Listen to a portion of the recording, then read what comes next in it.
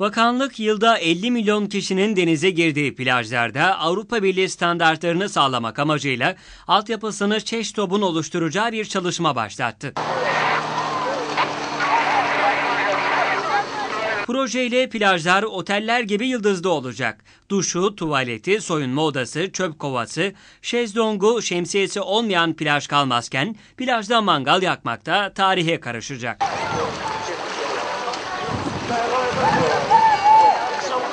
Türkiye'nin doğa harikası plajları artık oteller gibi 5 yıldızlı olacak. Kültür ve Turizm Bakanlığı yılda 50 milyon kişinin denize girdiği plajlardaki düzensizliğe son vermek ve Avrupa Birliği ülkelerindeki standartları sağlamak amacıyla çalışma başlattı.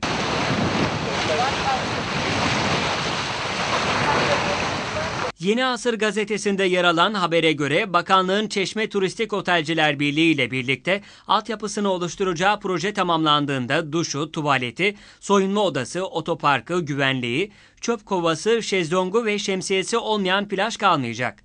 Plajlara sahip olduğu özellikler, bulunduğu konum ve donanımları dikkate alınarak otellerdeki gibi yıldız verilecek. Kaldırımdan böyle çocuk düştüğü yapmadılar hala ya. Turistler için hazırlanacak broşürlerde hangi plajın kaç yıldızlı olduğu ve ziyaretçilerine hangi imkanları sunduğu ayrıntılı olarak anlatılacak.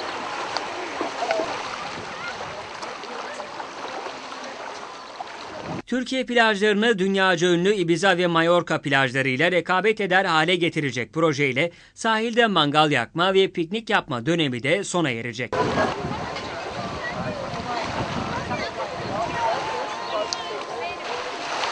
Getirilecek kriterlere uymayan işletmeler kapatılacak.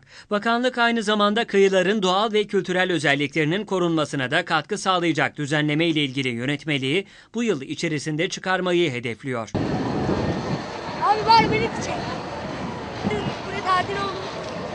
Türkiye'de 1990 yılında yürürlüğe giren kıyı kanunu dışında plajların kullanımı ve standartlarına ilişkin bir düzenleme bulunmuyor. Kanunda sadece sahil şeritlerinin doğal ve kültürel özellikleri gözetilerek toplumun yararlanmasına açık olduğu belirtiliyor.